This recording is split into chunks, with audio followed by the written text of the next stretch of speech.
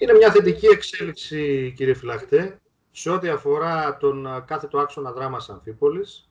Ε, η Περιφέρεια Ανατολικής Μακεδονίας και Θράκης έων έχει αναλάβει με την κία που βγήκε τις προηγούμενες μέρες την εκτέλεση αυτού του έργου, την μελέτη και την εκτέλεσή του.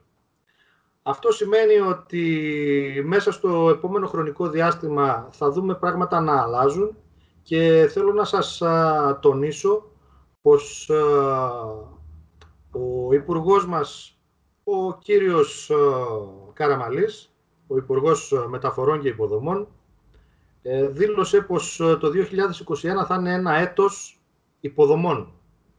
Και έχει αναφέρει ήδη δύο φορές σε συνεντεύξεις του ότι το κομμάτι αυτό της ένωσης του δρόμου μας με την Εγνατία είναι μέσα στα σχέδια αυτής της κυβέρνησης. Άλλωστε, όπως ξέρετε κύριε Φυλαχτέ, το έχει δηλώσει και ο Πρωθυπουργός μας, ο κύριος Κυριάκος Μητσοτάκης, ε, ήδη δύο φορές ε, στις ε, διεθνείς εκθέσεις της Θεσσαλονίκης που έχουν πραγματοποιηθεί τα προηγούμενα χρόνια. Ισχύει δηλαδή η δέσμευση για 18 μήνο που είχε πει ο κύριος Πρωθυπουργός.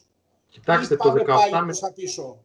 Το 18 μήνο, όπως γνωρίζετε και εσείς, έχει περάσει.